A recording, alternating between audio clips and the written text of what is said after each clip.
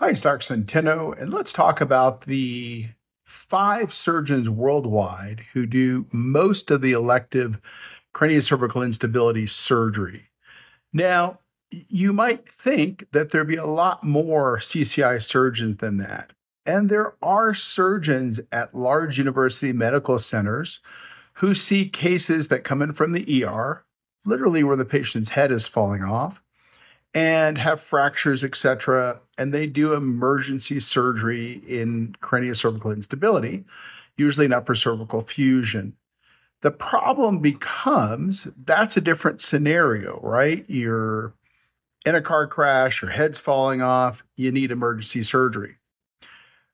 If you're going to get elective surgery for craniocervical instability, you want a doctor that does this surgery all day long, day in, day out. And there are only five as far as I can tell. So we've got Dr. Henderson in Maryland. We've got Dr. Bolognese in New Jersey. We've got Dr. Sunil Patel in South Carolina. We've got Dr. Franck in Florida. And then Dr. Gillette and colleagues in Barcelona. Uh, so that's four in the United States, one in Europe. So at the end of the day, there aren't a lot of CCI surgeons that do this surgery all day long, every day.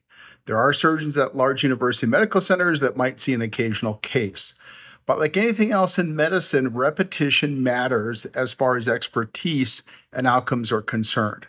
So these are the five surgeons we've got. Thanks so much for watching. Have a great day. Hey, get this out to more patients by like, comment, share, subscribe. Thanks so much.